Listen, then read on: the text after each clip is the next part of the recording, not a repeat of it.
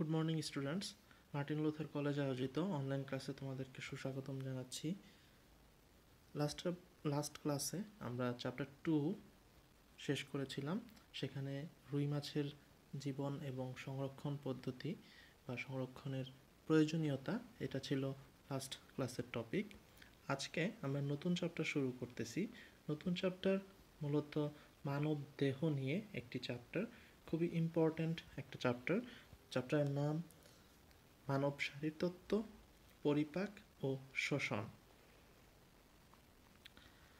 তো, মূলত এই চ্যাপ্টারে আমরা পরিপাক এবং শোষণ, ইংরেজিতে যেটাকে বলা হয় ডাইজেশন অ্যান্ড অ্যাবজর্পশন নিয়ে জানব। শুরুতেই এখানে একটি ছবি দেওয়া আছে। মূলত এই ছবিটি ডাইজেশন বা পরিপাক নালীর একটি ছবি।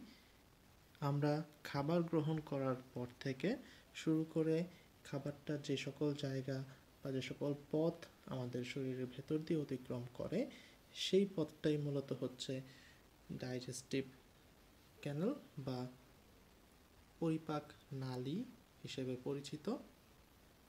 পরিপাক নালীতেই বিভিন্ন জায়গায় খাবারটা মূলত হচ্ছে অ্যাবজর্ব হয়, একেবারে সহজ সরল উপাদান হিসেবে।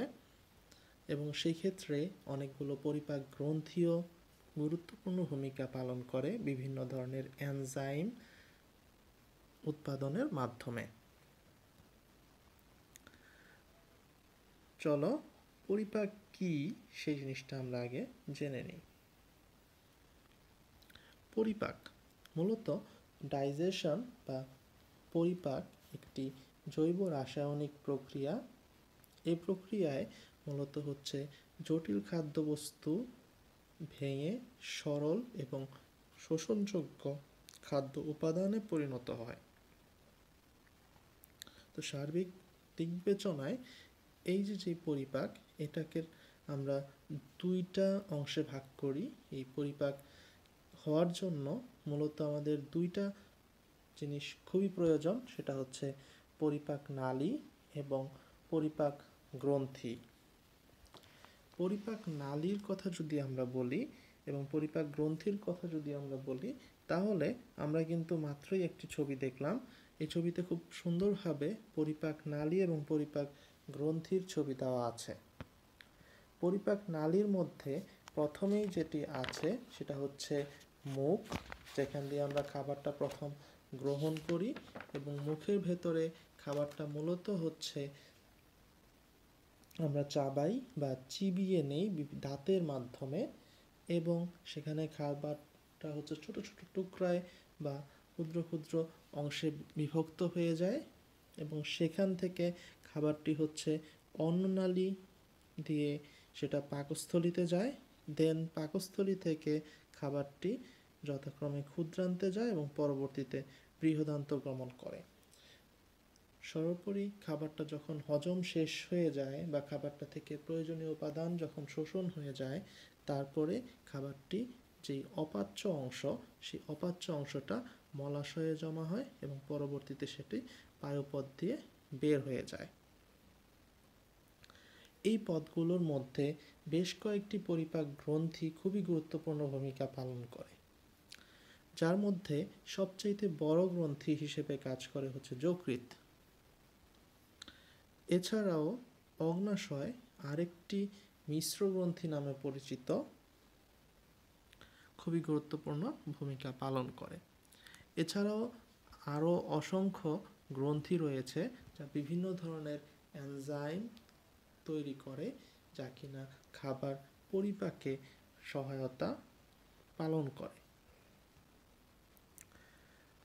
চলো দেখি খাবারটা, এই যে যে পরিপাক, এই পরিপাকটা মূলত দুইভাবে হয়ে থাকে। একটিকে বলে যান্ত্রিক পরিপাক, অপরটিকে বলে রাসায়নিক পরিপাক।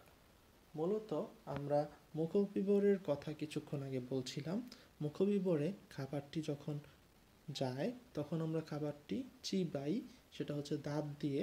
সুতরাং এখানে দাঁত হচ্ছে একটি যান্ত্রিক সহায়ক, অথবা জিহবা যা দিয়ে আমরা যে খাবারটাকে লাড়াচাড়া করি ইভেন আমরা যদি বলি যে সেখানে মুখের মধ্যে তিন ধরনের লালা গ্রন্থি রয়েছে, একটা হচ্ছে প্যারোটিড গ্রন্থি, আরেকটা হচ্ছে সাবমেন্ডিবুলার গ্রন্থি এবং আরেকটা হচ্ছে জিহ্বার নিচে সাবলিঙ্গুয়াল গ্রন্থি।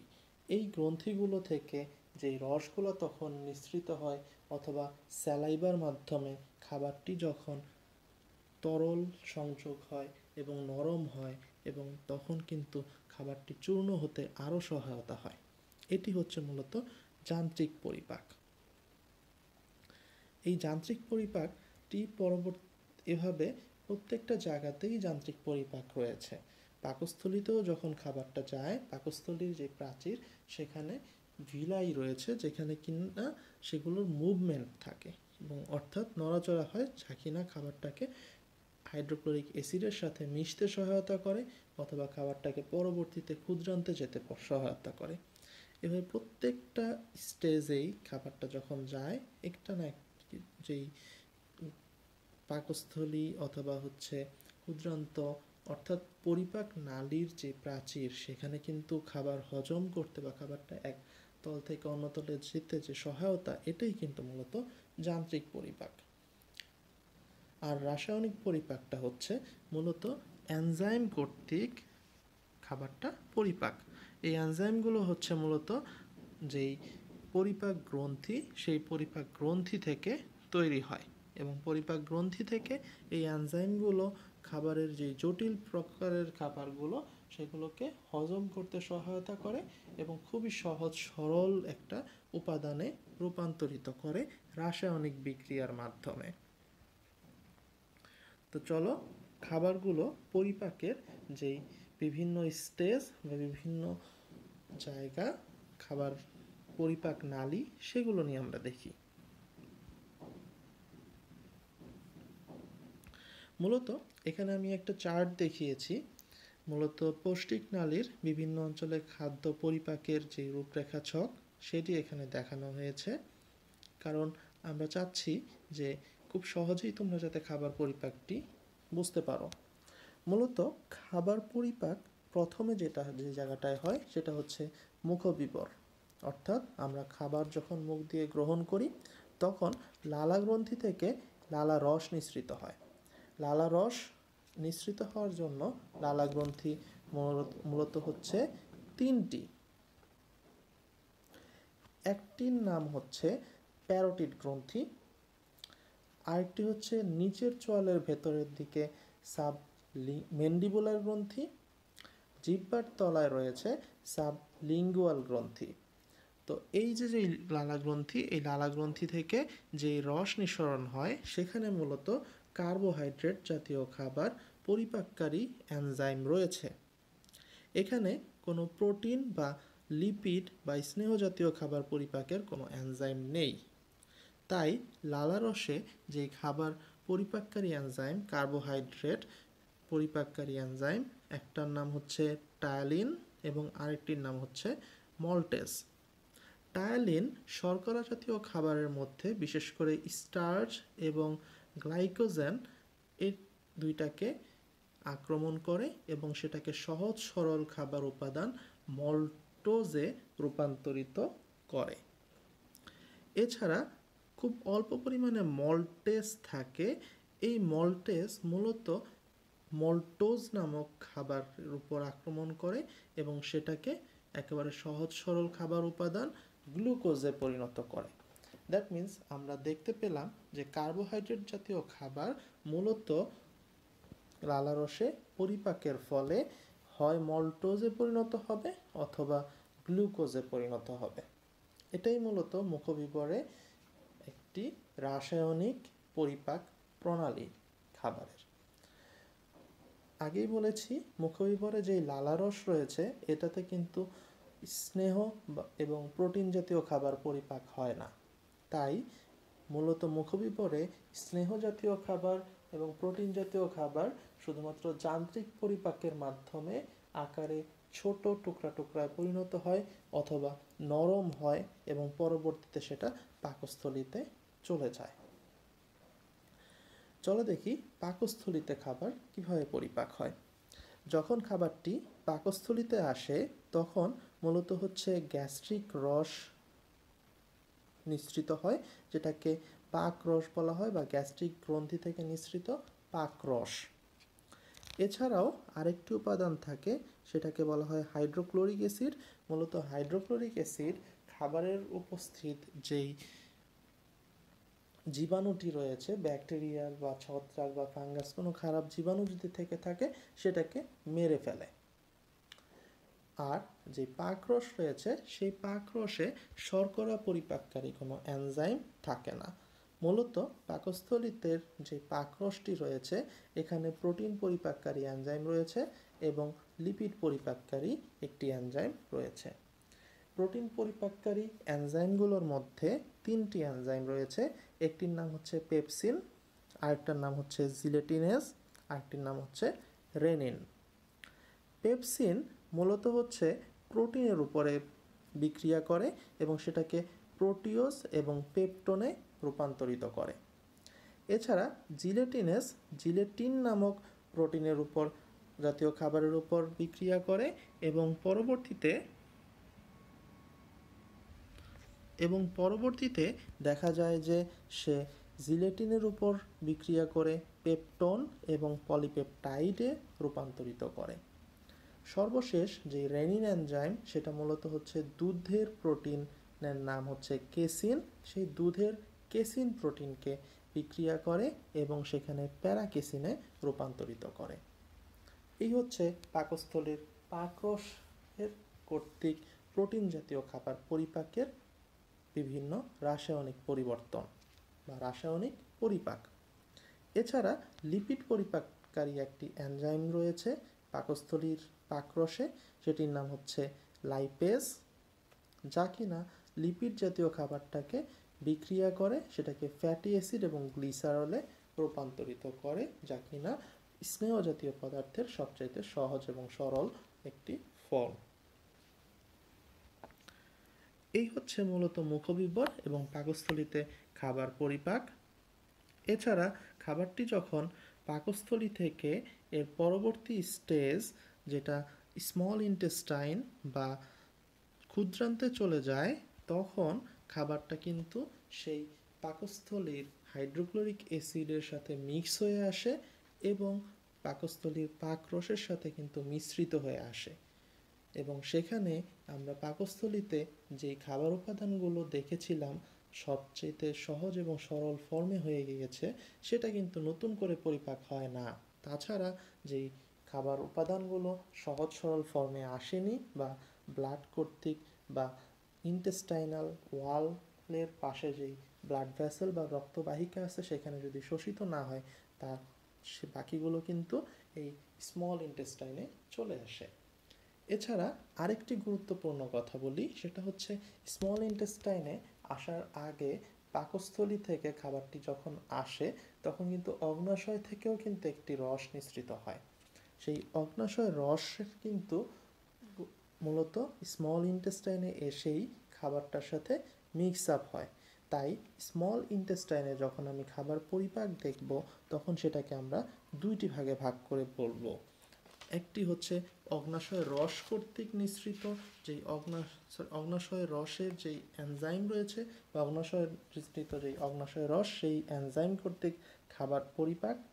এবং আরেকটি হচ্ছে আন্তরিক রস কর্তৃক বা আন্তরিক গ্রন্থি নিঃসৃত যেই আন্তরিক রস, সেখানে এনজাইম সমূহ কর্তৃক খাবার পরিপাক। তো এখানে আমরা অগ্নাশয় রস থেকে যে এনজাইম রয়েছে, সেই এনজাইমগুলো দ্বারা খাবার পরিপাক প্রণালীটি দেখব। অগ্নাশয়ের রসে মূলত হচ্ছে তিন ধরনের খাবারই পরিপাক হয়, শর্করা, আমিষ, স্নেহ। তিন ধরনের খাবারই কিন্তু এখানে পরিপাক হয়। শর্করা পরিপাককারী দুইটা এনজাইম রয়েছে, একটার নাম হচ্ছে অ্যামাইলেস আরেকটির নাম হচ্ছে মল্টেস। অ্যামাইলেজ মূলত স্টার্চ এবং গ্লাইকোজেন কোন জাতীয় কোনো খাবার যদি এখনও পরিপাক হওয়া বাকি থাকে, সেটা পরবর্তীতে এই অ্যামাইলেজের উপস্থিতিতে মল্টোজে পরিণত হয়। এছাড়া মল্টেজ নামক এনজাইমটি মল্টোজের উপর বিক্রিয়া করে সেটাকে সহজ সরল ফ্রম গ্লুকোজে পরিণত করে ফেলে। শর্করার পরে প্রোটিন জাতীয় খাবার পরিপাক করার জন্য এখানে অনেকগুলো এনজাইম রয়েছে। আমরা আগে যেই পাকস্থলিতে খাবার পরিপাকে দেখেছিলাম, প্রোটিন জাতীয় খাবার কিন্তু সহজ সরল ফর্মে পরিণত হয়নি। তাই অগ্নাশয় রসে সবচেয়ে বেশি পরিমাণ খাবারটি পরিপাক হওয়ার এনজাইম ব্যবহার করা হয়। এনজাইম থাকে এবং এখানে প্রোটিন জাতীয় খাবার একেবারে সহজ সরল ফর্মে চলে আসে। এখানে এনজাইম ট্রিপসিন মূলত হচ্ছে প্রোটিওজ এবং পেপটন জাতীয় যেই প্রোটিন, সেটার উপর কাজ করে পলিপেপটাইডে রূপান্তরিত করে। এছাড়া কাইমোট্রিপসিন, সেটা হচ্ছে প্রোটিওজ এবং পেপটনের উপর বিক্রিয়া করে পলিপেপটাইড তৈরি করে। কার্বক্সি পেপটাইডেস এনজাইম মূলত হচ্ছে পলিপেপটাইডের যেই প্রান্তীয় লিঙ্কেজ, সেটার সাথে বিক্রিয়া, সেখানে বিক্রিয়া করে এবং সরল পেপটাইড এবং অ্যামিনো অ্যাসিডে রূপান্তরিত করে। এছাড়া অ্যামিনো পেপটাইডেস এটা মূলত হচ্ছে পলিপেপটাইডের উপর বিক্রিয়া করে সেটাকে অ্যামিনো অ্যাসিডে রূপান্তরিত করে, যেটা কিন্তু একটা খুবই সহজ সরল ফর্ম, এটাও কিন্তু অ্যাবজর্পশন চলে যায়। এছাড়া ট্রাইপেপটাইডেস যেই এনজাইম, সেটা হচ্ছে ট্রাইপেপটাইডের উপর বিক্রিয়া করে এটাকেও অ্যামিনো অ্যাসিডে রূপান্তরিত করে, এটাও একটি সহজ সরল ফর্ম। এরপরে ডাইপেপটাইডেস এনজাইম, ডাইপেপটাইডের উপর বিক্রিয়া করে এটাকেও অ্যামিনো অ্যাসিডে রূপান্তর করে, এটাও সহজ সরল ফর্মে চলে গিয়েছে। পরবর্তীতে সেটা, যেটা এই রক্তবাহিকার কর্তৃক শোষিত হয়ে যায়। এর পরবর্তীতে কোলাজিনেজ এনজাইম রয়েছে, যা কিনা কোলাজেনের উপর বিক্রিয়া করে একটি সরল পেপটাইড গঠন করে। সর্বশেষে যেই লিপিড পরিপাককারী এনজাইম, একটা হচ্ছে লাইপেজ ফসফোলাইপেজ এবং কোলেস্টেরল অ্যাস্টারেস এই এনজাইমগুলো মূলত বিভিন্ন ধরনের লিপিড জাতীয় খাবারের উপর বিক্রিয়া করে। লাইপেজ মূলত চর্বি বা লিপিড জাতীয় খাবারের সাথে বিক্রিয়া করে ফ্যাটি অ্যাসিড এবং গ্লিসারিলে পরিণত করে, যা কিনা খুবই সহজ সরল একটি ফর্ম এছাড়া ফসফোলাইপেজ এটা ফসফোলিপিডের উপর বিক্রিয়া করে এবং ফ্যাটি অ্যাসিড তৈরি করে, এটাও একটি খুব সহজ সরল ফর্ম যা কিনা ব্লাড কর্তৃক শোষিত হয়। সবার শেষে যেই কোলেস্টেরল এস্টারেজ এনজাইম এটা হচ্ছে কোলেস্টেরল এস্টারের উপর বিক্রিয়া করে এবং সরল যেই ফ্যাটি অ্যাসিড সহজ সরল ফর্ম সেটাতে রূপান্তরিত করে এবং ফলে সেটা ব্লাড কর্তৃক বা ব্লাড ভ্যাসেল কর্তৃক শোষিত হয়ে যায়। ইন্টেস্টাইনে মূলত হচ্ছে অগ্নাশয় রস কর্তৃক খাবার যে পরিপাক হচ্ছে, এর পরবর্তীতে সেটা হচ্ছে চলে যায়, বাকি যেটা থেকে থাকে সেটা হচ্ছে আন্তরিক রস কর্তৃক, অর্থাৎ স্মল ইন্টেস্টাইনের বা ক্ষুদ্রান্তের যে রস, সেই রস কর্তৃক বাকিটা পরিপাক হয়। চলো দেখি, এরপরে স্মল ইন্টেস্টাইনে বাকি যতটুকু থাকে, যেই খাবারগুলো এখনও পরিপাক হওয়া, হয়নি, অথবা সহজ সরল ফর্ম তৈরি হয়ে ব্লাড ভ্যাসেল কর্তৃক শোষিত হয়নি, সেই খাবারগুলো মূলত হচ্ছে এই আন্তরিক রস কর্তৃক শোষিত হয়। স্মল ইন্টেস্টাইনে এই আন্তরিক রস কর্তৃক যেই এনজাইম রসে সেগুলোতেও মূলত হচ্ছে তিন ধরনের খাবারই পরিপাক হয়। প্রোটিন জাতীয় খাবার পরিপাক করার জন্য এখানে থাকে অ্যামাইনো পেপটাইডেস যা কিনা পেপটাইড অণুকে ভেঙে অ্যামাইনো অ্যাসিড সহজ সরল ফর্মে পরিণত করে। লিপিড পরিপাককারী অ্যানজাইম রয়েছে এখানে লাইপেস এবং অ্যালকালাইন ফসফেটেস, যা কিনা মূলত হচ্ছে ট্রাইগ্লিসারাইড এবং ডাইগ্লিসারাইড এবং ফসফোলিপিডের উপর বিক্রিয়া করে। এবং পরবর্তীতে সেটা মনোগ্লিসারাইড এবং ফ্যাটি অ্যাসিডে রূপান্তর করে হচ্ছে ট্রাইগ্লিসারাইড এবং ডাইগ্লিসারাইডকে। এছাড়া ফসফোলিপিডকে মূলত হচ্ছে গ্লিসারল ফ্যাটি অ্যাসিড, এছাড়া হচ্ছে ফসফরিক অ্যাসিড এবং এদের কিছু বেজ এ রূপান্তরিত করে থাকে। কার্বোহাইড্রেট পরিপাককারী এনজাইম এখানে রয়েছে মূলত ল্যাকটেস, যেটা কিনা দুধের বা ল্যাকটোজের সাথে বিক্রিয়া করে সেখানে গ্লুকোজ এবং গ্যালাক্টোজ উৎপন্ন করে।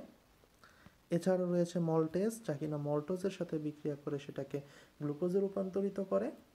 সুক্রেজ এনজাইম চিনির সুক্রোজকে বিক্রিয়া সুক্রোজের সাথে বিক্রিয়া করে সেটাকে গ্লুকোজ এবং ফ্রুক্টোজে রূপান্তর করে। অ্যামাইলেজ এনজাইম, এটা হচ্ছে স্টার্চ এবং ডেক্সট্রিনের সাথে বিক্রিয়া করে সরল শর্করায় পরিণত করে, যা কিনা খুবই সহজ সরল ফর্ম এগুলো সবগুলোই ব্লাড ভেসেল কর্তৃক শোষণ হয়ে যায়।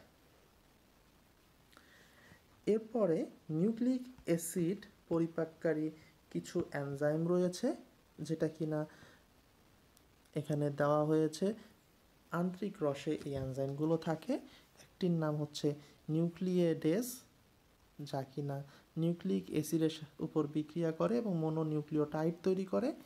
এরপরে নিউক্লিওটাইডেস এনজাইম যা কিনা নিউক্লিওটাইডের সাথে বিক্রিয়া করে সেটাকে নিউক্লিওসাইড এবং ফসফেট গ্রুপে রূপান্তরিত করে এবং সবার শেষে নিউক্লিওসাইডেজ এনজাইম মূলত নিউক্লিওসাইডের উপর বিক্রিয়া করে এবং সেখানে পেন্টোস সুগার এবং নাইট্রোজেন বেস সবচেয়ে সহজ সরল ফর্ম সেইটাতে পরিণত করে, যা কিনা পরবর্তীতে ব্লাড ভেসেল কর্তৃক শোষিত হয়ে থাকে। তো মূলত আমাদের যে আজকের ক্লাস, আজকের ক্লাসে আমরা এই খাবার পরিপাকটি সম্পর্কে বিভিন্ন যান্ত্রিক পদ্ধতি এবং রাসায়নিক পদ্ধতিতে খাবার পরিপাক, এটি জানলাম। আগামী ক্লাসে এই খাবারগুলো যে সহজ সরল ফর্মে পরিণত হয়েছে, সেটা কীভাবে শোষিত হয়, সেটা সম্পর্কে জানব। আজকের ক্লাসে যদি কোনো কোশ্চেন থেকে, থাকে তোমরা কমেন্ট বক্সে কোশ্চেন করতে অবশ্যই ভুলবে না। সেই পর্যন্ত সবাই সুস্থ থাকো এবং ভালো থাকো। তোমাদের উপস্থিতি নিশ্চিত করার জন্য কমেন্ট বক্সে নিজের নাম এবং রোলটি লিখবে। আগামী ক্লাসে দেখা হবে। যারা ক্লাসটি আজকে কষ্ট সহকারে দেখলে তাদেরকে অসংখ্য ধন্যবাদ জানিয়ে আজকের ক্লাস এখানেই শেষ করছি।